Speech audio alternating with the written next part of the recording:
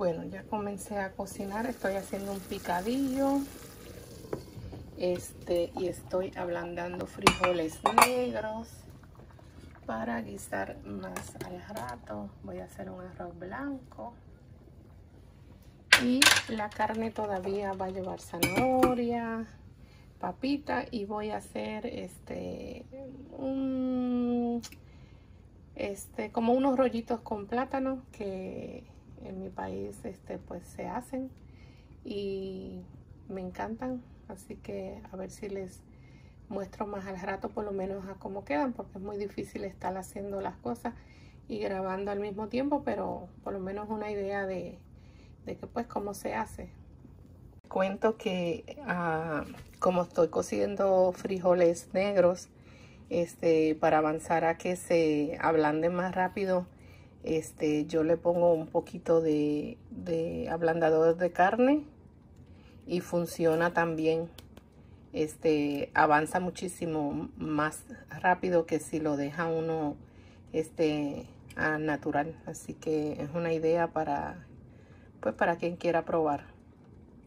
Entonces ya estoy friendo los plátanos maduros. Son plátanos los que alguna gente conocen como plátano maduro plátano macho, pero para mí es plátano, porque el banano o el guineo es una cosa y el plátano es otra, pero yo sé que algunas personas de otros países así lo conocen.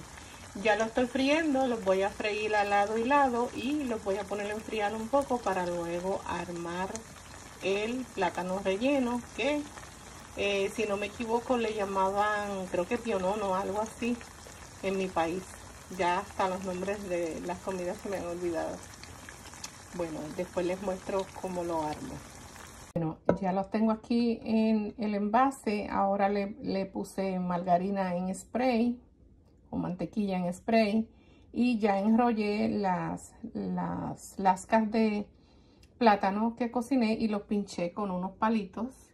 Ahora le voy a poner en el fondo un poquito de queso mozzarella a cada uno. Luego en el medio la carne y después al final nuevamente eh, el, queso mozzarella y de ahí van a ir al horno hasta que se gratinen, no sé cuántos minutos decirle exactamente, pero uno lo va a ir chequeando y así sabe. Esto se va a combinar con arroz blanco y unos frijoles negros guisados.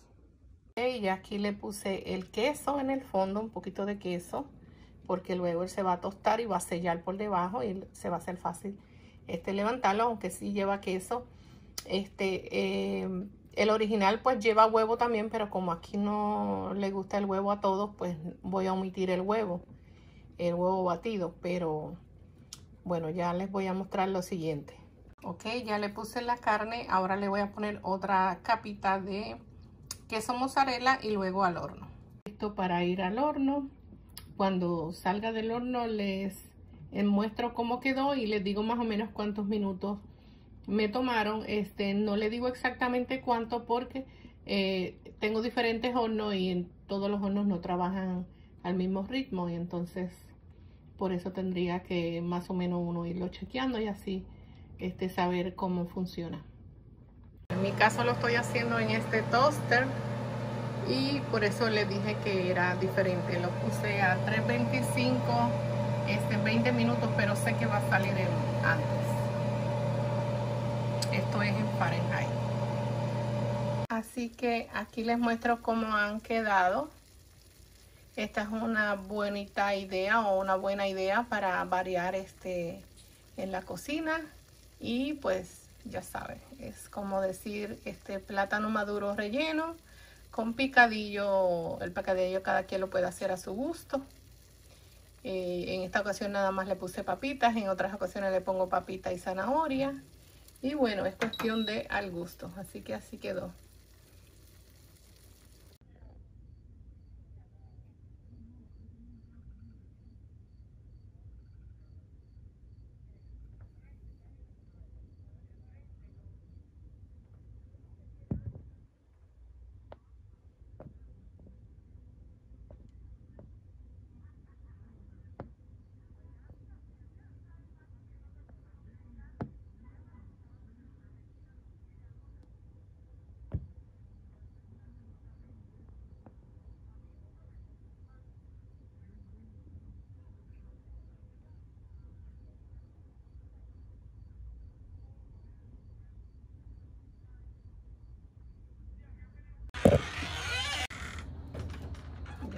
Están guardando los perritos en sus jaulitas.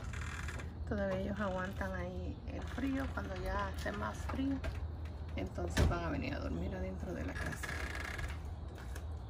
Así que así se mira de noche.